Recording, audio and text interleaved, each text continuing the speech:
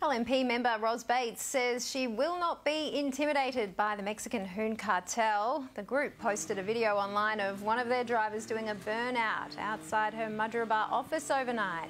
At one stage, sparks fly from the vehicle's rim. If the Mexican Hoon cartel think that they're going to frighten me, well, they're wrong. Um, I um, am here to stay and um, I'm going to make sure that the strong anti-hooning legislation um, affects all of them. New laws passed last month, which include increased penalties for offenders who post their crimes on social media.